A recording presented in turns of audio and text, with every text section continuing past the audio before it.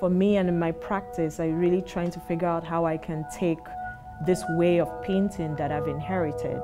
It's a very Western figurative type of painting and figure out what I can do to it and how I can change it and how new things can happen to it. I was born in eastern Nigeria.